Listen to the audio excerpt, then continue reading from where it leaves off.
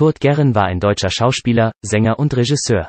Er wurde als Jude von den Nationalsozialisten verfolgt, interniert und ermordet. Leben Jugend und Teilnahme am Ersten Weltkrieg Gerren war das einzige Kind des wohlhabenden jüdischen Kaufmannes Max Gerson und dessen Ehefrau Toni Geb. Riese. Geboren wurde er in der elterlichen Wohnung in der Cuxhavener Straße 4 im Berliner Hansaviertel. Nachdem er mit 17 Jahren das Abitur abgelegt hatte, wollte er Medizin studieren, musste jedoch stattdessen zunächst als Frontsoldat in den Ersten Weltkrieg ziehen.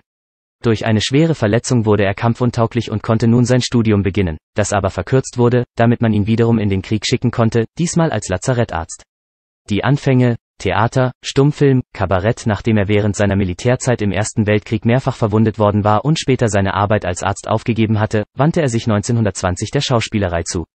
Ohne einen speziellen Unterricht genossen zu haben, debütierte er in dem kleinen Kabarett, wo ihn Trude Hesterberg entdeckte. Zur Eröffnung der wilden Bühne stand Gerren neben Bertolt Brecht, Joachim Ringelnatz und Walter Mehring auf dem Programm. Von 1920 bis 1925 war er unter anderem an den Berliner Reinhardtbühnen engagiert. Daneben trat er in Revuen und Kabaretts auf. Der Kritiker Pem charakterisierte den Kabarettisten 1926 wie folgt, er schießt Sätze. Die Worte peitschen, der Rhythmus reißt mit, lässt keinen Widerstand zu. Ihm sitzt die Hetze, das Tempo im Nacken. Unbarmherzig fallen die Verse, geißeln die Zeit ihre Schwäche, ihre Halbheiten, ihre Gleichgültigkeit.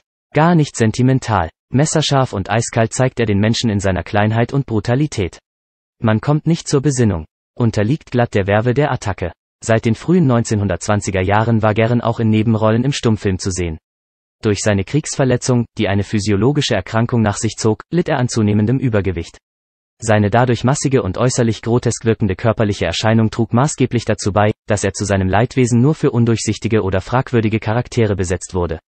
Ab 1926 führte Gern zusätzlich Regie und setzte sich ab 1931 auch im Tonfilm durch.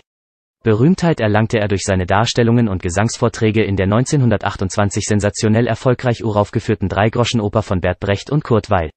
Er spielte darin den Schausteller, der die Moritat von Mackie Messer vortrug, sowie die Rolle des Londoner Polizeichefs Tiger Brown. Große Erfolge. Der Tonfilm Gerens heute wohl bekannteste Rolle ist die des Zauberkünstlers Kiepert in Josef von Sternbergs Der blaue Engel zusammen mit Marlene Dietrich. Außerdem wirkte er auch in der Filmoperette Die drei von der Tankstelle, die für den noch unbekannten Heinz Rühmann den Durchbruch im Filmgeschäft bedeutete. Gute Kritiken erhielt Gern auch als Regisseur beliebter Filme wie Es wird schon wieder besser mit Heinz Rühmann oder Der weiße Dämon mit Hans Albers. Nachdem die Nationalsozialisten an die Macht gekommen waren, wurde Gern gezwungen, seine Regiearbeit an dem Uferfilm Kind, Ich freut mich auf dein Kommen aufzugeben. Bis 1933 hatte er in 60 Filmen mitgewirkt. Flucht und Exil mit seiner Frau Olga Geb. Meyer und seinen Eltern Max und Mali Gern floh er 1933 nach der nationalsozialistischen Machtergreifung nach Paris, von da über Österreich und Italien nach Amsterdam. Nach der Besetzung der Niederlande spielte Gern noch eine Weile an der hollandsche Schauberg, die nun Jotsche Schauberg hieß, bis das gesamte Ensemble in das KZ Theresienstadt deportiert wurde. 1943 wurden Gern und seine Familie in das niederländische Durchgangslager Westerbork deportiert, Ende Februar 1944 dann ebenfalls nach Theresienstadt. Gerens Freunde Peter Lorre und Marlene Dietrich hatten noch versucht, ihn rechtzeitig nach Hollywood zu holen. Doch Gern lehnte ab, wohl, weil ihm die deutsche Sprache zum Arbeiten notwendiges Handwerkzeug war. Möglicherweise hoffte er auch auf einen Umschwung in Deutschland, wie viele der Juden, die nicht weiter als in die benachbarten Niederlande emigrierten. Theresienstadt und Auschwitz in Theresienstadt erkannte ein SS-Mann Gern, der in dem NS-Propagandafilm Der ewige Jude als Beispiel für einen minderwertigen Juden vorgeführt worden war, und schlug den ihm arglos entgegentretenden brutal zusammen.